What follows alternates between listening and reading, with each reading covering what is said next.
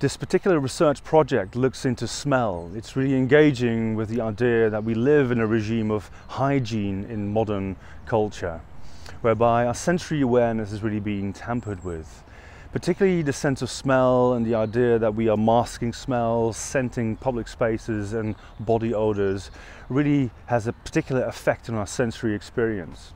It has been changing since the post-war period and we want to map that kind of process, that evolution towards the 21st century where we have a different palette.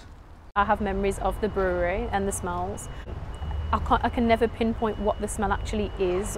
I went to school right next to um, Goodyear's, so the smell of um, rubber is another big one for me. We know that smells play a really important role in memory. They help us unlock very early childhood memories, they help us unlock emotional memories.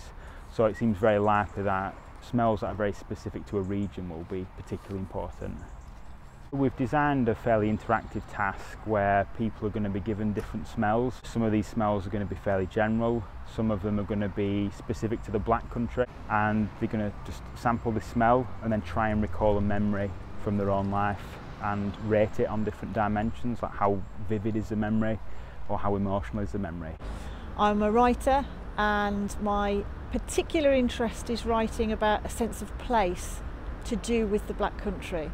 Um, and so everything that I write is, is uh, it's got that kind of sense of culture, the sense of the Black Country culture. My role is, is to translate um, the way that the smells and memories link and to make it clear about how those things relate to the Black Country culture.